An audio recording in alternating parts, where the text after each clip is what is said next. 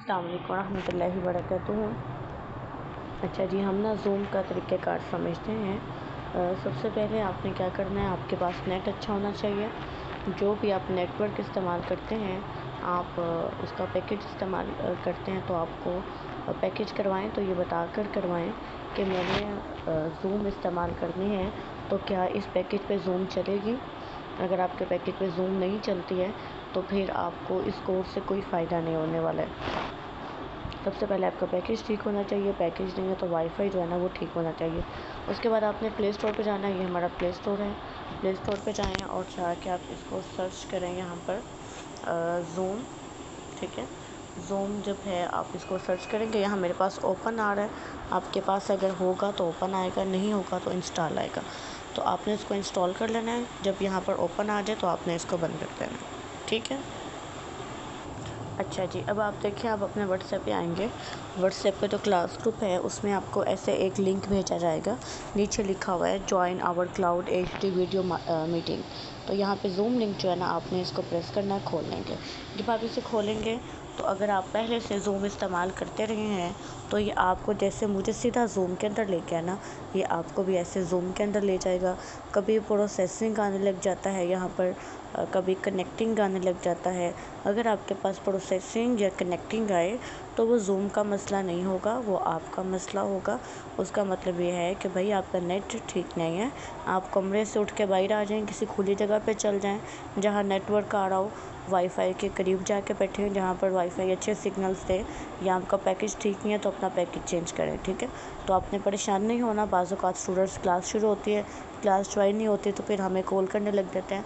तो आपने ऐसे नहीं करना है, अगर आपका ये मसला आता है प्रोसेसिंग आ रहा है कनेक्टिंग आ रहा है, आपके पास ऐसे का इंटरफेस नहीं आ रहा है तो इसका मतलब ये है कि आपका नेट ठीक नहीं है, आप अपना नेट ठीक करें।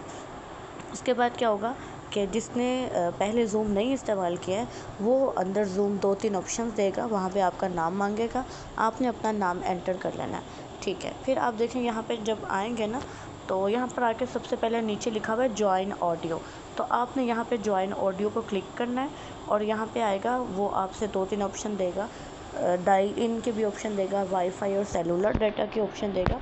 आपने वाईफाई और सेलुलर डाटा जो है ना, इस ऑप्शन को सिलेक्ट कर देना है। ठीक है, ये ऑप्शन जब आप सिलेक्ट करेंगे तो आपका, आपको हमारी आवाज़ आने लग जाएगी।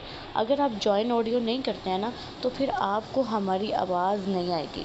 ठीक है, आप क्लास में तो आएँगे क्लास नज़र आएगी, पर आपको हमारी आवाज़ नहीं आएगी। तो आपने जॉइन ऑडियो ज़रूर करना है, ठीक है? इस टाइम मैं इसको करके दिखा देती हूँ। देखें, दो ऑप्शन हैं तो मैं पहले सेलेक्ट करूँगी।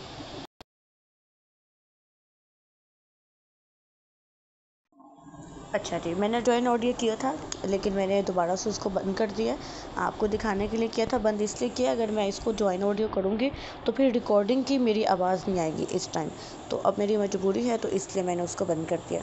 आपने क्या करना है जॉइन ऑडियो करने के बाद ना आपका माइक खुल जाएगा।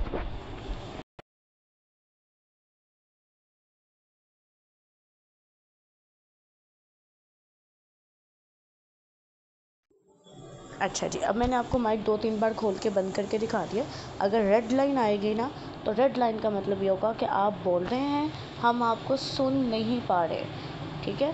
तो जब मैं पढ़ाऊँगी तो आपने अपना ये माइक बंद रखना है। लेकिन जब मैं आपका नाम लूँगी, आपसे सवाल करूँगी तो आपने यहाँ से अपना माइक खोल देना। उसके बाद स्टार्ट वीडियो की ऑप्शन है। वीडियो आपने अपनी बंद रखनी है रेड लाइन आनी चाहिए। पार्टिसिपेंट्स पे आप जाएँगे तो यहाँ पे आपको नज़र आएँगे कि कितने लोग मौजूद हैं मीटिंग में। यहाँ पे अगर आप अपना नाम नहीं सेट किया ना तो यहाँ पे जाके आप अपना नाम सेट कर सकते हैं री नेम पे जाएँ। जैसे अगर फॉर एग्ज़ाम्पल मेरा रोल नंबर वन है तो मैं इसको मिटा के इसके ऊपर अपना नाम लिखूँगी। ज़ीरो वन, ये नी, ज़ीरो वन, ये छोटी वाली डैश, ठीक है, ये बड़ी डैश भी होती है, ये नहीं डालनी, ये छोटी वाली आपने डैश डालनी है, फिर एक स्पेस तंजीला।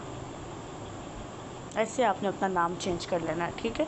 उसके बाद यहाँ पे ही आप प्रेस करेंगे तो आपको कभी सवाल हो सकता है ना?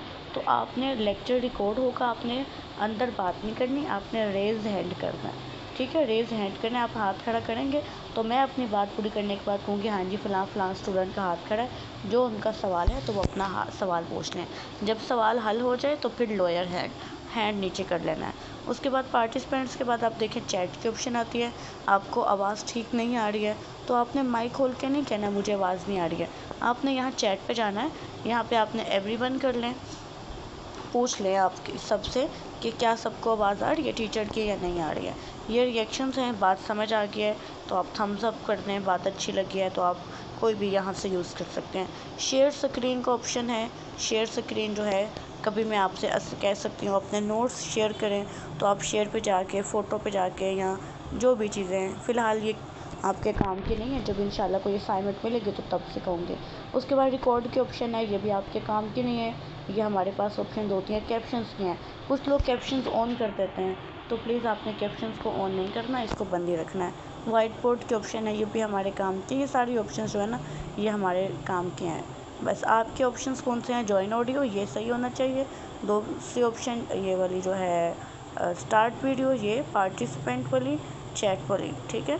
या रिएक्शन वाली कह लें। और पार्टिसिपेंट्स में आपको रीनेम करना आना चाहिए, आपको रेज हैंड करना आना चाहिए।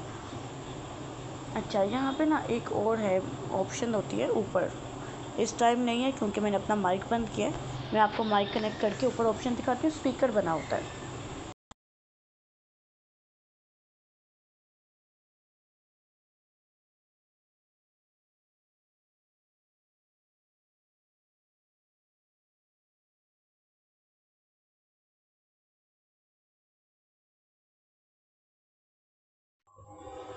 अच्छा जी, मैंने आपको ऊपर अभी स्पीकर दिखा दिया था। तो उसमें वो ये ऑप्शन जो है ना, इसका इस्तेमाल ये है कि कभी हमारे पास कॉल आ जाती है। जैसे आप जूम क्लास ले रहे थे ना, अंदर आपको व्हाट्सएप पे किसी ने कॉल करना शुरू कर दी ऐसे होता है, बहुत आम बात है ये। घर वाले ही कॉल करने लग जाते हैं, आपको कॉल पे कॉल आपकी आवाज़ क्या होती है, फिर कम हो जाती है।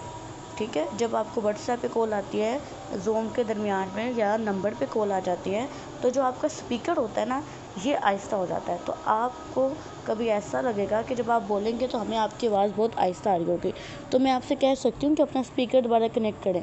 तो आपने ऊपर स्पीकर को क्रॉस करना है और दोबारा सेट कर लेना है, ठीक है? ऐसे कभी भी आपको ये मसला आ जाए क्लास में कि आपकी आवाज़ आहिस्ता हो जाए तो आपने ऊपर से स्पीकर को ठीक करना है और यहाँ से जॉइन ऑडियो जो है ना, इधर को जाके लास्ट पे डिसकनेक्ट ऑडियो करके तो तब भी अपना आप, जो है, आवाज़ का मसला हल कर सकते हैं।